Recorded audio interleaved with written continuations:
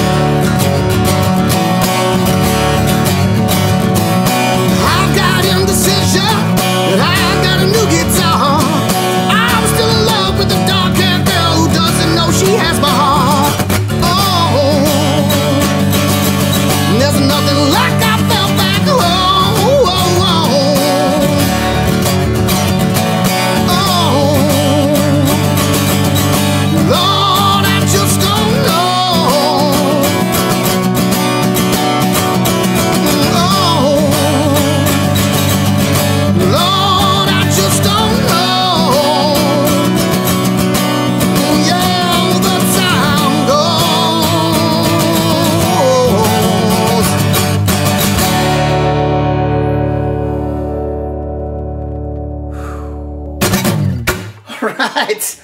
I'm sweating. That is a very tough song to play and sing at the same time, especially if you want to do it right. Anyway, I was really excited to play that one for y'all.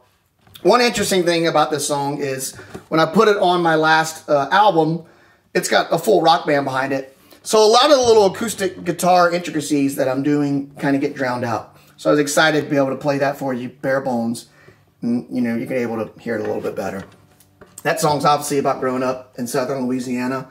Um, I do remember picking out Christmas trees um, in shorts and uh, in short sleeves.